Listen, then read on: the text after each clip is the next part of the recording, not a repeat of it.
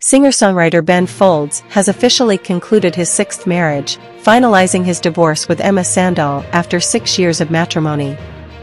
The split was initiated by Folds, 57, who filed for divorce in December 2023, citing irreconcilable differences, as revealed in court records accessible to People magazine.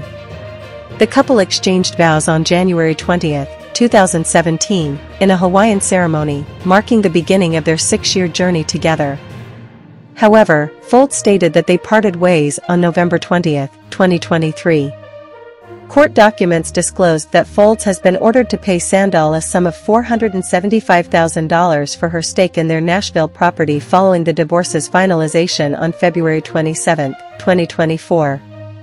The paperwork specifies that upon receiving the allocated funds, Sandall is obligated to execute a quitclaim deed, relinquishing all claims to the marital home to Folds. Folds, in a piece for the Sydney Herald in September 2012, candidly shared insights into his past marital experiences. He recounted his first marriage to his oldest friend, Anna Goodman, which lasted from 1987 to 1992. Reflecting on societal expectations at the time, Folds revealed that he and Goodman succumbed to pressure to conform to the norm of marriage as a requisite life milestone.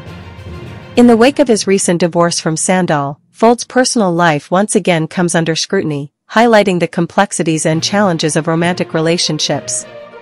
Despite the dissolution of his union with Sandall, Folds' artistic journey continues to resonate with fans worldwide, drawing from both personal triumphs and tribulations. As Folds navigates the aftermath of yet another divorce, his resilience and creative spirit remain steadfast, serving as a testament to his enduring musical legacy and unwavering commitment to self-expression.